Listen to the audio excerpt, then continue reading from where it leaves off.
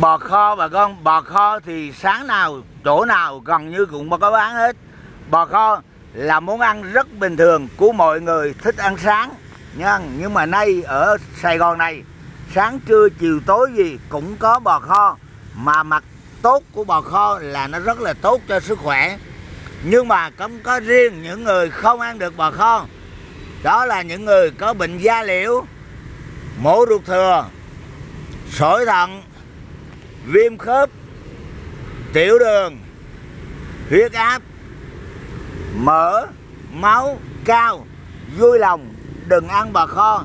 Nếu ta ăn bò kho vào thì bệnh chúng ta lâu lành, lâu bớt, lâu khỏi và nó không tốt gì cho sức khỏe cả bà con à đó là những người và những bệnh thế này, vui lòng đừng ăn bò kho để cho nó tốt tốt cho sức khỏe và chứng bệnh của mình.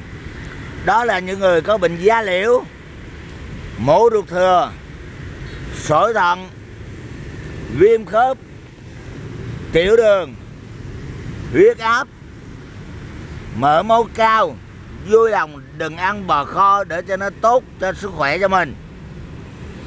Còn ngoài ra, nó tốt cho sức khỏe khi ta ăn bò kho, đó là nó tăng cường được hệ thống cơ bắp.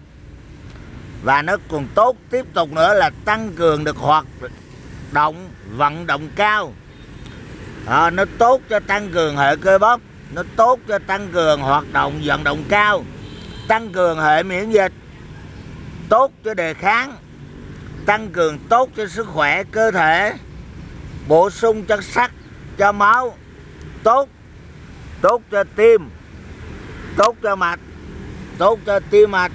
Đó bà con thấy nhiều hả bà con? Cho nên khi ổn định cân nặng đó và ăn tốt nữa là nó ổn định được cân nặng cho mình trọng lượng của mình nó được duy trì tốt. Nhưng mà không phải tốt là ăn bao nhiêu cũng được. Tốt chúng ta ăn chỉ 50 gram một ngày. Những người tốt á, ăn 50 gram một ngày. Mà ăn 6 ngày thì phải nghỉ một ngày.